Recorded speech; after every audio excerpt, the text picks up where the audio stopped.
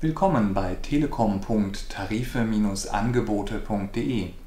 Ich möchte Ihnen nun die Einrichtung des Speedport ISDN-Adapters zeigen, um ISDN-Endgeräte wie beispielsweise eine ISDN-Telefonanlage auch am IP-Anschluss der Telekom weiterverwenden zu können. Um die Einrichtung durchführen zu können, benötigen Sie Ihre Zugangsdaten für das Telekom Kundencenter Falls Sie sich dann noch nicht registriert haben, sollten Sie das dann vorher tun mit Ihren Anmeldedaten. Ein Login einrichten, das benötigen Sie dann später. Und als erstes verbinde ich diese LAN-Buchse an der Unterseite des Speedport ISDN-Adapters über das mitgelieferte Netzwerkkabel mit dem LAN-Port meines Speedport-Routers, beispielsweise in dem Fall im Speedport Hybrid. Und zusätzlich benötige ich natürlich eine Stromversorgung über das mitgelieferte Netzteil.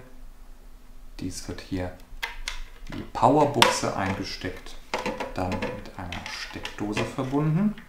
Und in dem Moment, wo Sie den Speedport ISDN Adapter mit dem Strom und dem Internet über Ihren Router verbunden haben, schaut er über das Telekom-Netz, hier sehen wir eine Status-LED, ob beispielsweise eine neue Firmware vorhanden ist und würde auch automatisch ein Firmware-Update durchführen.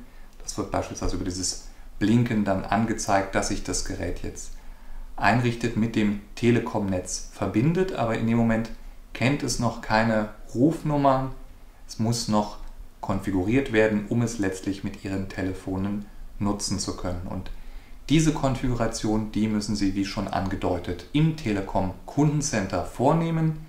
Da gibt es zwei Möglichkeiten, entweder über die allgemeine Oberfläche oder über einen Direkteinsprung. Beides zeige ich Ihnen kurz. Ich bin hier schon im Telekom Kundencenter eingeloggt mit meinem Computer und hier im Bereich Anschluss und Tarif laufen hier drüben verschiedene Optionen durch, unter anderem eben auch der Gerätemanager. Wenn ich allerdings auf Gerätemanager klicke, komme ich erstmal in den Bereich ähm, des Easy Supports, also für die Einrichtung von Routern und müsste dann noch auf den Bereich Telefonie wechseln, hier auf Telefonie Einstellungen und dann wird mir hier angezeigt Telefonie Center.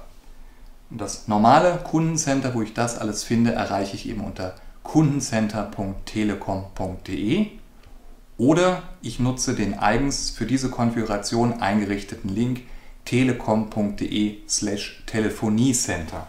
Und wenn ich das Telefoniecenter aufrufe und mich dort mit meinen Zugangsdaten einlogge, dann komme ich direkt in eine etwas abgespeckte Oberfläche hinein, habe hier ein Pull-Down-Menü, wo aufgrund meines Logins mit meinen Nutzerdaten alle Anschlussrufnummern hinterlegt sind und ich mir jetzt in diesem Menü die Rufnummer auswählen kann, die ich jetzt für ein Gerät konfigurieren möchte. Wenn ich die gewünschte Rufnummer ausgewählt habe, die ich konfigurieren möchte und auf Weiter gedrückt habe, sehe ich zunächst den Status, also die Einrichtung der Anrufweiterschaltungen, aber uns interessiert ja die Einrichtung des Speedport ISDN Adapters und hierzu muss ich dann auf dieser Seite nach unten scrollen und hier gibt es dann den Punkt ISDN Adapter anmelden. Hier klicke ich drauf und bekomme die Schritte angezeigt, die ich gleich durchlaufen werde. Ich sage Anmeldung starten.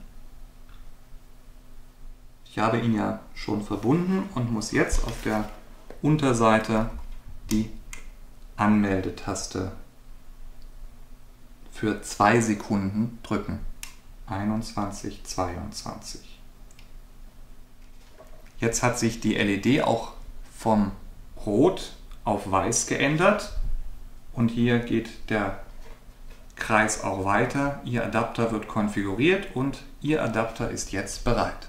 Jetzt könnte ich also ein ISDN-Gerät an diese Buchsen anschließen und meine entsprechende IP-Rufnummer, die hinterlegt ist, würde über diesen Adapter auf meinem ISDN-Gerät signalisiert werden. So einfach ist die Einrichtung des Speedport ISDN-Adapters für die ISDN-Nutzung an einem IP-Anschluss der Telekom.